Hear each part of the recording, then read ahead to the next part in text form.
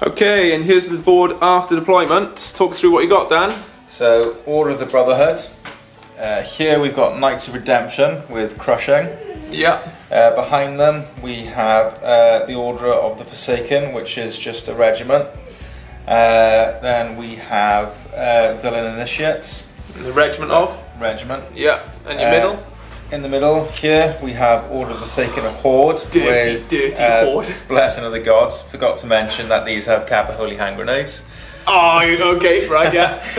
Uh, then Some uh, grenade fun. Horde of Martyrs, uh, standard Yeah. as they come. Fearless 22 uh, plus. buffing a villain.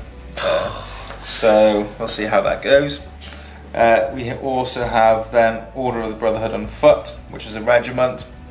Uh, this guy is a student with a Lute of insatiable darkness to give uh, the buffing of um, uh, Bane Chant. Yeah, Bane Trump. Troop of Martyrs, standard as they come. Uh, Order of the Brotherhood, Cav. Love, lovely painted cavalry regiment there. Yes. Still, Okay, not, still on- not finished, but. On your, on your left flank. Forsaken Beast with Ensnare, Okay. and then my General, which is the Exemplar Forsaken. But no general. No General. Just, he's lost his He's, griffin, is he's run away. Okay. Right then, and then for the goblins, we've got 2,000 points of goblins allied in with some orcs on the, what would be the goblin right flank. We've got a regiment of flea bags, uh, speed 10 nimble. Whoop, whoop. These guys have Helm of the Ram to give them Thunderous 2. Coming towards the centre, we've got a horde of trolls, as is, a war trombone, a giant, another horde of trolls, another giant, a uh, whiz there. He's got Bane Chant and Inspiring. Oh, that reminds me. The little wizard in the forest over there. This guy's actually got the upgrades for Lightning Bolt 5. Amulet. Uh, amulet, is it? Yeah. amulet. Okay, so back then we have Here we got another. Opposing the knights after deployment. We have a goblin uh, spear horde. Sorry, not the horde. They I've split them into two regiments for this game. I normally run them as a horde. This game they're two regiments. Behind them, another war trombone, and a allied in unit of Moraxes, a regiment of Moraxes. A orc hero, I think it's called a Krudger, and he's on the boar. He's also had the upgrade for plus one attacks and then a regiment of orc gore riders. Now, Dan has been very generous with this list. I've allied in uh, about 600 points worth of orcs here, so it's a, it is an illegal list by about 100 points because obviously it's over the 25% cap. But I'd only just faced these guys and I wanted to try them out, and Dan's been very generous. So we've rolled for first turn. Goblins uh, won the roll, so we might go first, and then I'll catch you after two. Okay guys, so here's just a quick overview of the board before we start the game. Um, at the end of deployment, I'm just going to give you a quick kind of rundown on what's going through my head um, after deployment. Now, I had 15 drops going into this and my opponent only had 9, so I was always going to come out relatively well uh, after deployment, but I particularly like how this has turned out. If you have a look at the left flank, he's got two units of cav and a unit of his uh, flying cav on his right flank and I've got my phalanx chaff there and they've got to come down that narrow corridor in between woods and an impassable building. So that's going to cause serious problems for him, which is very good for me. If anything, my left flank is a little overloaded, but my thoughts there is that I, I want the Gore Rider Regiment and the Moraxes to both benefit from inspiring with the General, so I wanted to keep them together. That's all that is. Uh, I've got my two troll hordes and two giants to really hold up the center with a lot of crushing strength there. So that should be able to like break through his fearless stuff. Um, you know, he's got he's got he's got fearless uh, hordes in the middle, which is quite annoying to deal with. And then I've got on my right flank my unit of um, Fleabag Riders, which are very fast and nimble, so they're very effective at flanking. So that's pretty much my tactics going into the game. Let's see how it pans out.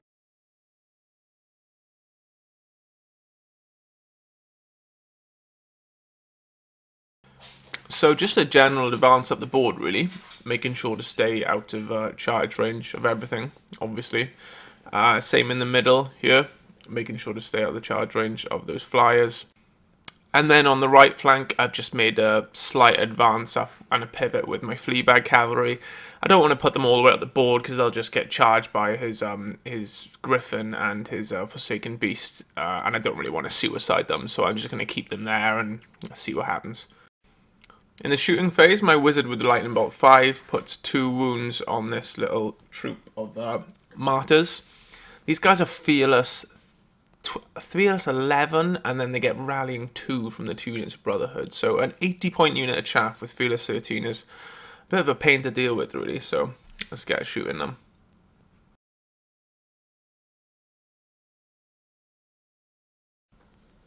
So the Forsaken Knights what were behind move over and across onto the right hand side. A general advance straight up the middle from all the units in the centre.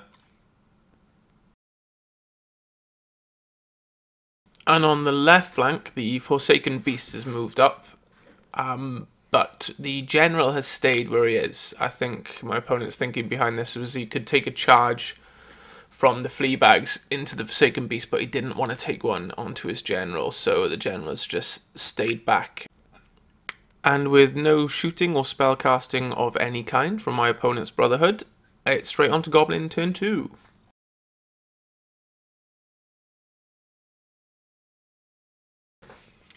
So the left flank moves up, pretty much staying in the same formation.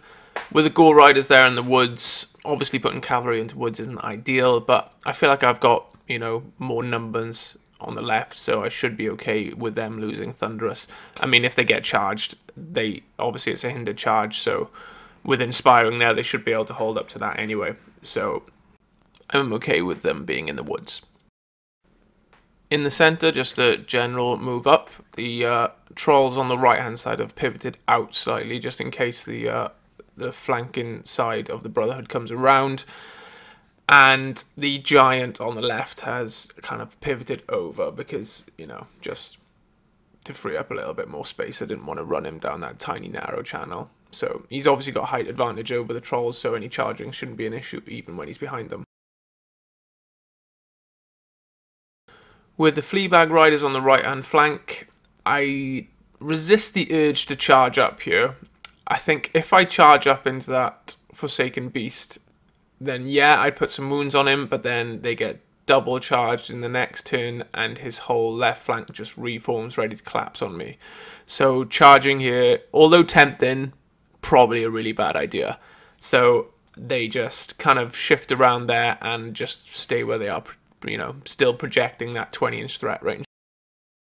In the shooting phase, the Flaggit with Lute of Insatiable Darkness fails to Bane chant the War Trombone, but it doesn't matter. He unloads on the troop of martyrs and puts five wounds on them anyway. Then the Wizard in the Woods with five lightning bolts puts another two wounds on the martyrs and puts them up to seven plus the two from previous, and on eleven they break.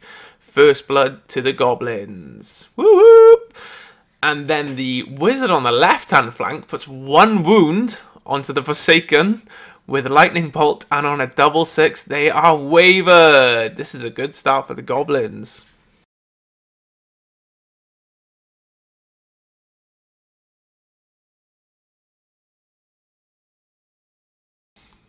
Brotherhood turn 2, and it's all kicking off. The uh, Order of the Forsaken, with their headstrong, do get their 4 plus, and they manage to shake off their wavering, annoyingly and then uh, perform a double charge along with the Order of Redemption, both into the Gore Riders. Obviously, it's a hindered charge on both of them, so they are losing their Thunderous. So let's see if those Gore Riders can hold. And then the Villain Initiates, they charge into that unit of Goblin Spears on the right hand side. Now, forgetting about my Goblin Wizard last turn, because he's hiding behind that tree, I accidentally left him in charge range of that Forsaken Beast. So, hmm, he is in the woods, so it is a hindered charge again, but, oh, that's not looking good. Now, I forgot to take a photo of the centre of the board here, but no charges were declared by the Brotherhood anyway, so it looks pretty much the same as it did before. So let's see how the combat's worked out. The Order of Redemption and the Order of Forsaken, despite having minus one to hit and no Thunderous, put seven wounds onto the Gore Riders, which is uh, way above average, but not enough to break them. It is, however, enough to waver them, so the Gore Riders are sitting in the woods and are wavered.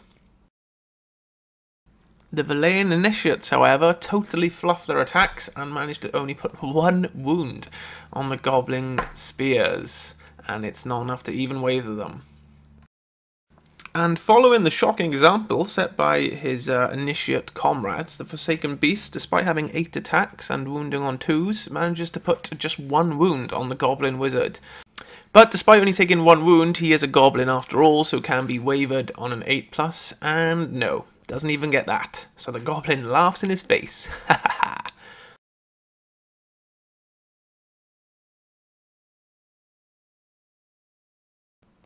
Goblin turn 3, and this is what the centre of the board looks like. Sorry for the rubbish photo. But the giant, a horde of trolls, and the other giant have all three of them charged into the horde of martyrs. And then the troll unit on the right hand side have charged into the Order of Brotherhood. And then the war trombone has come over on the right hand side to try and get a shot off at the knights. On the left hand flank, the Goblin Regiment, the Goblin uh, Sharpsticks have countercharged back into the Knights. The other Goblin Sharpsticks have got a flank charge onto the Order of Redemption. The Gore Riders, obviously, they're wavered, they're sitting there doing nothing. And uh, you can see him just behind the tree. The Orc Krudger has charged uh, into the front of the Order of Redemption the Moraxes are kind of bottlenecked in, so they're just sitting at the back waiting for their chance to do something, and the War Trombone hasn't got a target to shoot at, so that's what the left flank is looking like.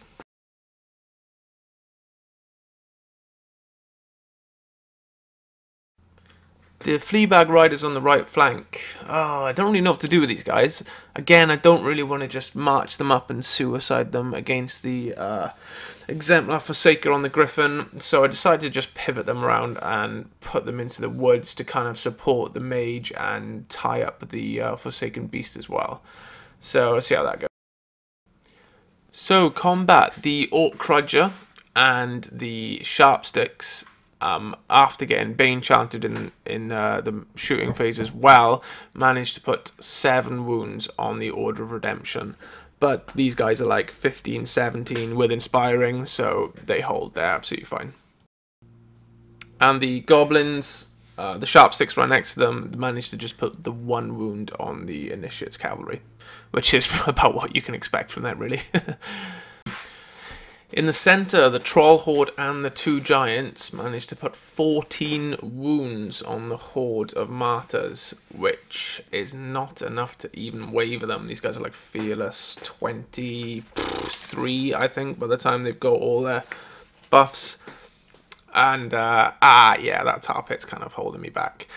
Uh, it's worth noting, by the way, uh, one, sorry for the appalling quality of photo, and two, obviously the Giants are both in combat, but the way the models are, I just couldn't, you know, squeeze the models in there, so they're left like that. The other horde of trolls, though, after getting Bane chanted in the shooting phase by the uh, Flaggit with Lute, they absolutely go to town on the Brotherhood on foot, put eight wounds on them, and despite them being inspired, manage to rout them in in a oneer, which is just brilliant. um, the war trombone behind them in the shooting phase, it opened up on the knights, uh, but I only did one wound. And that's what the middle of the board looks like after the trolls reformed.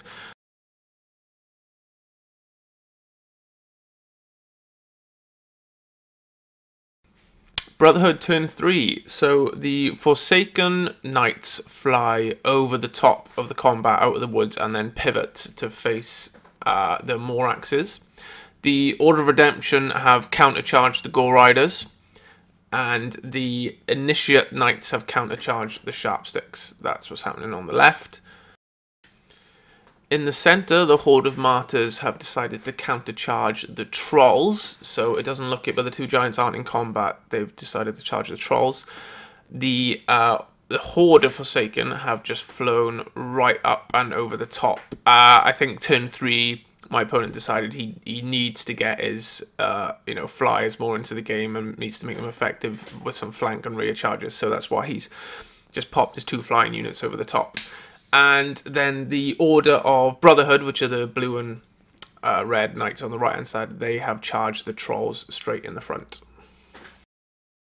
And on the right hand flank, the Forsaken Beast has charged my Fleabag Riders. Uh, that's about it for all the charges. Let's see how the combat gets on.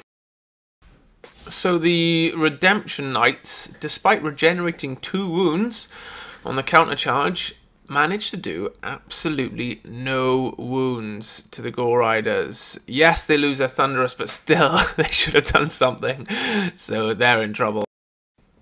The Initiates do a lot better, putting four wounds on the Sharp Sticks. Sorry, three wounds. Um, so they're on four wounds left, but it's still not enough to break them. And the Martyr Horde in the centre put four wounds on the Trolls, and again, it's not enough to break them. The Order of the Brotherhood managed to do a lot better though. After getting Bane chanted by the Exemplar uh, in the previous phase, they managed to put seven wounds on the trolls, um, and due to their inspiring, it's only enough to waver them.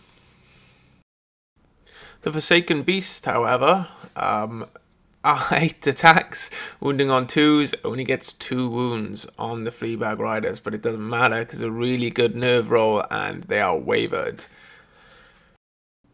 So that's the end of Brotherhood turn 3, and things are looking good for the Goblins here. Uh, end of 3 turns, and the Goblins are yet to sustain a single casualty. We have got two units wavering though, and uh, I've played this Brotherhood list a few times, and I can say never count them out. Lots of flyers and knights. They, they, it's not over till the fat lady sings with these guys. So let's see how the Goblins come in turn 4.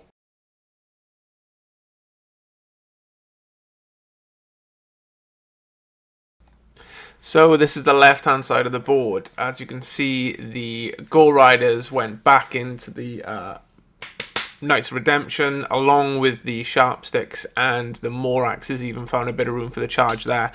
And there was a lot of attacks and they just absolutely annihilated the Knights and the three of them reformed.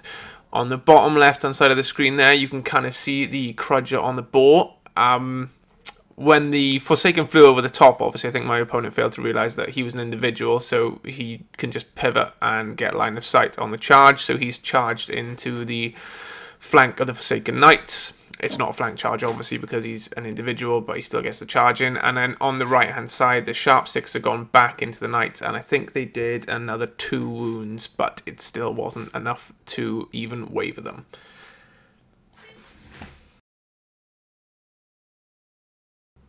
And here's the center of the board. Now during the movement phase, I pivoted both the war trombones backwards to face the uh, Forsaken Knights that have flown over the top, and I moved the wizard in on the right hand side as well. And despite trying to Bane chant each war trombone and failing both times, I still managed to put nine wounds on the Forsaken Knights with the two war trombones and the lightning bolts from the wizard. And nine wounds and a nerve roll of ten was enough to pop them in a oneer and this is just devastating for my opponent. But this is exactly what I wanted. I thought my war trombones were pretty much the only answer to the flying cavalry. By keeping them with my line and, and behind them, anything that flew over the top, I knew that I could just unload breath attacks on them. So that's exactly what I was waiting to happen, and that's what did happen.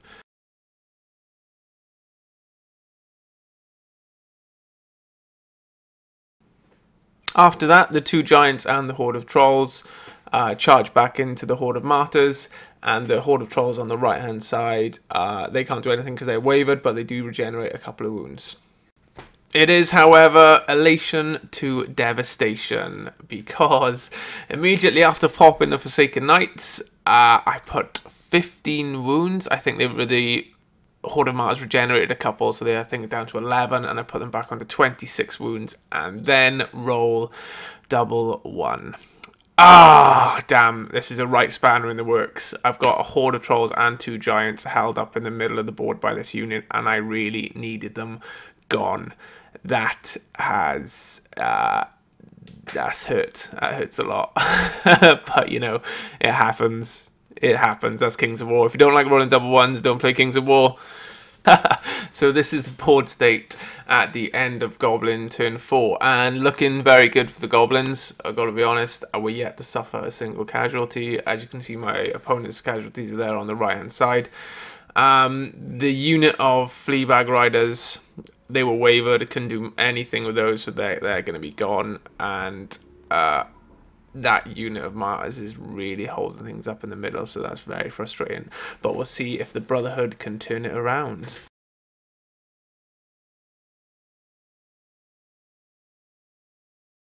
So Brotherhood turn 4 and the Forsaken Knights have charged into the back of the War Trombone.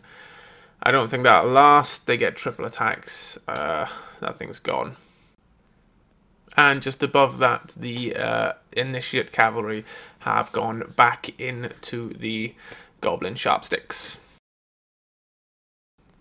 In the centre of the board, the Horde of Martyrs have gone back into the Trolls. The uh, Brotherhood Knights have gone back into their Trolls. The um, Exemplar on the Griffin has charged from the right hand side, gone into the War Trombone, bit of revenge for the damage they unleashed on the Forsaken Knights, and then on the bottom right hand side of the screen there, you can see that the Forsaken Beast has charged back into the uh, Fleabag Riders. And onto the combat phase, and the Knights of the Forsaken, despite having 27 attacks and putting 8 wounds on the War Trombone, you guessed it, double ones. Oh, this is devastating for the Brotherhood here. oh, feels bad, man. And the same goes for the Initiates. Despite doing 4 wounds, which is the same as they did in the last two phases, they're an 8 isn't enough to even waver the goblins. Uh, a really poor nerve roll. They do have inspiring, but a really poor nerve roll, and these goblins aren't even wavered. It does get better though, because in the centre of the board, the Horde of Martyrs do manage to put another three wounds on the trolls, and seven wounds on them is enough to waver them, so those trolls aren't going anywhere. And the Brotherhood Knights, after getting Bane chanted by the Lute, go to town on the trolls again and put 13 wounds on them, and they rout them. The uh, Exemplar on the Griffin, triple attacks on the War Machine, and it routs that too. And the Forsaken Beast puts another three wounds on the Fleabag Riders, putting them up to five, and that is enough to rout them too. So a good turn for the Brotherhood there, taking a regiment of cavalry, a horde of trolls, a war trombone, and wavering the other horde of trolls. Um, as you can see, the knights in the centre, they've reformed to face towards the giant. And yeah, looks like the Brotherhood are pulling it back here.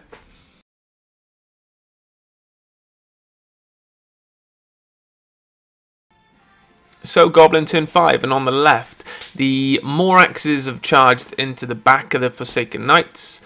The uh, Krudger on a boar right at the bottom there has just legged it right across to try and get into the middle. The Sharpsticks have countercharged back into the uh, Initiate Knights. The Gore Riders have charged into the flank of the Initiate Knights, and the Goblin, the other regiment of Sharpsticks, have just moved out the way up the top of the screen there. And in the centre, the trolls do nothing, they're wavered, and both giants charge back into the horde of martyrs. And after combat, you can see the initiates have been routed. No surprise there. A Bane Chant was cast on the Gore Riders just to make sure the job was a good one. And triple attacks from the Moraxes in the rear of the Forsaken. 75 attacks for Crushing Strength 1. They were never going to survive that, so they have just advanced forward just behind the Krudger. So that's what the left flank's looking like. And this is in the middle. The martyrs are finally gone. They were on like 26 wounds anyway, so all I had to do was do a wound and make them check. And they routed. So both the giants have reformed to face towards the knights. Uh, the trolls, however, can't reform because uh, they weren't involved in the combat, so they just got to sit there. Uh, they did actually manage to regenerate. I think it was two wounds though. Um, but that's the end of Goblin turn 5.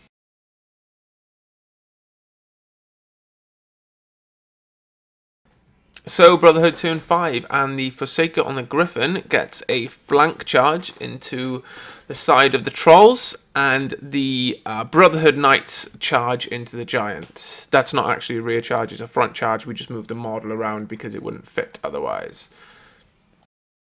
So here's what it's looking like after combat. Uh, a flank charge into the Trolls by the uh, Forsaker on the Griffin was more than enough to see them off despite inspiring and the Brotherhood, uh, after getting Bane chanted by Lute of Darkness, managed to put 9 wounds on the Giant. I know the dice is 7, it's actually 9, but even despite having 9 wounds on him, it wasn't enough to pop him. So that... Oh, and the uh, Forsaken Beast, which I don't have a photo of off screen, has made its way towards the middle of the board. And that's the end of the Brotherhood turn.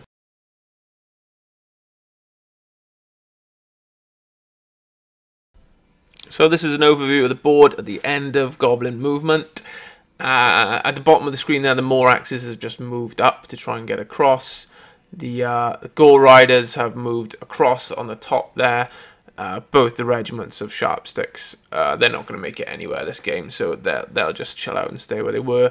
The uh, Orc Krudger uh, did actually have the range to get the charge in, so he's charged into the uh, Exemplar Forsaker on the Griffin. The Giant is charged into the Exemplar Forsaker, and the other Giant has countercharged the unit of Brotherhood. The um, War Trombone there and the Wizard have just moved into range to make some shooting attacks against the Forsaken Beast. So after combat, the Giant and the Krudger managed to put 7 wounds on the uh, Exemplar Forsaker, but he doesn't waver or he's routed, he stays strong, and the Giant only puts 4 wounds on the Knights. And that is the end of Goblin turn 6.